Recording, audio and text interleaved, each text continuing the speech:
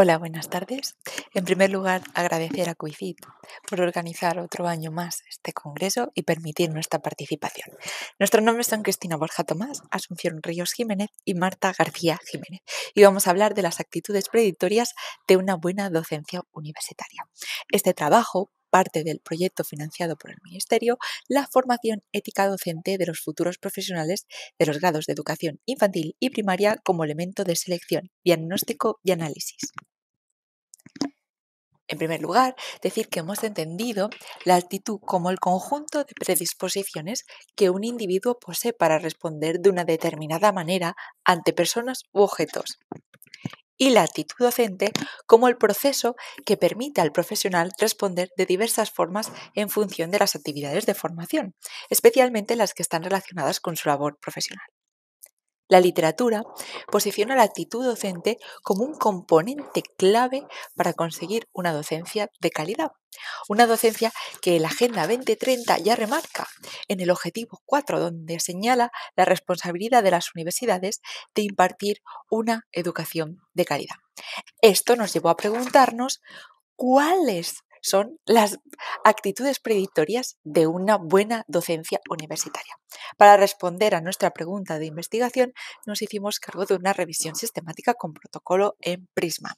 Se seleccionaron unas bases de datos en función a los criterios de que rigor académico, colecciones de artículos nacionales e internacionales que nos permitiesen búsquedas avanzadas para filtrar los documentos y que estuviesen especializadas en ciencias sociales y psicología. La ecuación de búsqueda se realizó empleando las palabras clave del tesauro de Eric y se completaron con los booleanos AND y OR. Para cada una de las bases de datos se empleó una ecuación de búsqueda.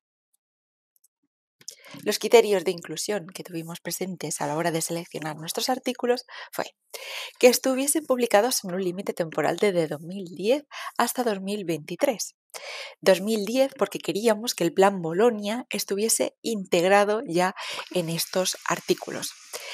La redacción fuese en inglés y en español para una mayor comprensión, que el acceso fuese abierto, que los artículos estuviesen integrados en revistas científicas y que el nivel educativo se contextualizase en educación superior. Tras el cribado de los, eh, de los, artículos, la eliminación de los duplicados, nos quedamos con un total de 32 artículos, tantos nacionales como internacionales. Estos artículos nos permitieron comprobar que la temática, a pesar de que se, ha mantenido estable a lo largo de los años hemos encontrado un ligero aumento en la actualidad. En la primera fase de nuestra revisión pudimos comprobar que España y México eran los países que más producción hacían de esta temática. Como hemos mencionado, en la línea temporal los, eh, se ha mantenido estable, pero ah, no ha sido hasta 2020 que encontramos que el ligero aumento que dio en 2014 se ha mantenido encontramos que sí que se ha mantenido, cosa que en 2014 pues no.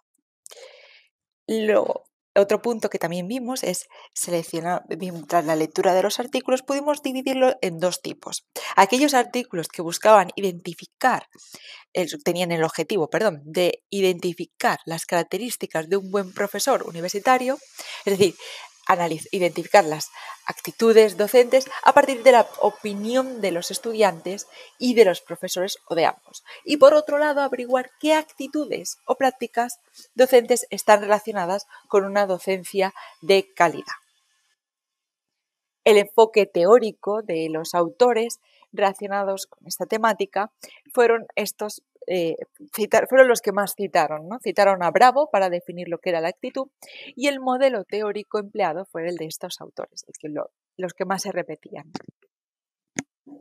Como hemos dicho, eh, los artículos seleccionados querían responder a dos objetivos. Por ello encontramos dos tipos de estudios. Aquellos estudios que seleccionan una actitud específica eh, bajo el criterio de los investigadores y por otro, aquellos eh, investigadores que ponen un listado de actitudes y les dicen a sus objetos de estudio que seleccionen aquellas actitudes que consideran que son mm, más importantes o están más relacionadas con una docencia de calidad. Vimos también que en estos artículos, a pesar de decirnos que las actitudes que estaban más relacionadas con una buena docencia o una docencia de calidad eran aquellas que empatizaban lo que era la parte, una actitud positiva frente a la empatía y las relaciones interpersonales. Pero también podemos comprobar que los autores relacionaban la actitud docente con una docencia de calidad, con una educación inclusiva si el profesor mantenía una actitud positiva frente a la inclusión, con la integración de herramientas de aprendizaje, como es el caso de las TIC, con un buen clima emocional dentro del aula, con facilitar eh, interacciones en el aprendizaje y eh, introducir modelos pedagógicos. Pero como hemos dicho, la actitud mm, que todos han llegado a la conclusión de que eh, estaba más relacionada con esta docencia de calidad eran las que tenían que ver, las actitudes que estaban relacionadas con las interacciones entre iguales o con sus estudiantes. Estas conclusiones se han podido comprobar también en otras investigaciones, donde se les da importancia a la parte relacional. ¿eh? de la parte, lo que estamos hablando de, de las relaciones, como hemos dicho. También hemos podido comprobar que se repetía los estudios donde los estudiantes valoraban por encima de otras actitudes aquellas que estaban relacionadas con la parte interpersonal. Es decir, valoraban por encima aquellos, eh, aquellos docentes que tenían una actitud positiva frente a la interacción. Luego, eh, por otro lado, también hemos podido comprobar que también se repetía en la valoración de los docentes, que ellos se fijaban mucho más en las actitudes que estaban relacionadas con el desempeño de su labor profesional, como aquella de autogestionarse, y las que estaban ligadas con el bienestar personal. Para concluir, como hemos dicho, las actitudes empáticas y racionales son las que más relación han tenido estos autores con la han relacionado con una docencia de calidad. ¿Por qué? Porque se ha demostrado que tiene un impacto eh, significativo en las eh, relaciones dentro del aula, incluso en la participación de los estudiantes, también en el rendimiento académico, aunque en este punto el rendimiento académico, el incremento no ha sido muy significativo, ha sido un aumento muy ligero, y el bienestar emocional.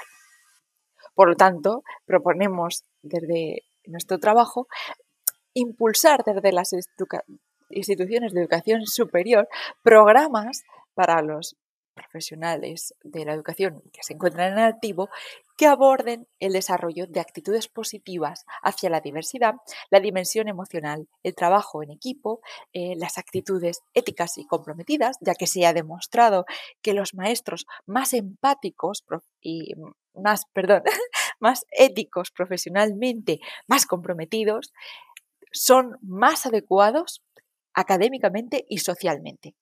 Y también que aborden actitudes positivas que favorezcan estas relaciones, ya que nuestros estudiantes son las actitudes que más han valorado.